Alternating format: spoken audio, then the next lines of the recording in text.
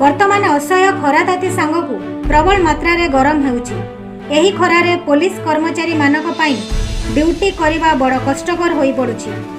ଏହାରି ଭିତରେ ପୋଲିସ ବେତାର ବିଭାଗର କର୍ମଚାରୀମାନଙ୍କ ଦ୍ୱାରା ଥଣ୍ଡା ପାନୀୟ ସହିତ ଦହି ପାଣି ବଣ୍ଟନ କାର୍ଯ୍ୟକ୍ରମ ଦୀର୍ଘ ଛଅ ଦିନ ଧରି ଚାଲିଛି। ଦିନକୁ ପ୍ରାୟ ପାଞ୍ଚଶହ ଲୋକଙ୍କୁ ଏହି ଦହି ପାଣି ବଣ୍ଟନ କରାଯାଉଛି। ଏହାଦ୍ୱାରା କର୍ମଚାରୀମାନେ ବହୁତ ଖୁସି ଅନୁଭବ କରିଛନ୍ତି ବୋଲି ପ୍ରକାଶ କରିଛନ୍ତି। ଆସନ୍ତା ସୋମବାର ଦିନ କଟକ ସହରରେ ଡ୍ୟୁଟି କରୁଥିବା ଟ୍ରାଫିକ୍ ପୋଲିସ କର୍ମଚାରୀମାନଙ୍କୁ ବୁଲି ବୁଲି ଦହି ପାଣି ବଣ୍ଟନ କାର୍ଯ୍ୟକ୍ରମ କରିବା ପାଇଁ ଯୋଜନା ଚାଲୁଛି। ଏହାକୁ ସିଗ୍ନାଲ ଏସ୍ପିଙ୍କ ତତ୍ତ୍ୱାବଧାନରେ ହେବ ବୋଲି ଜଣାପଡ଼ିଛି।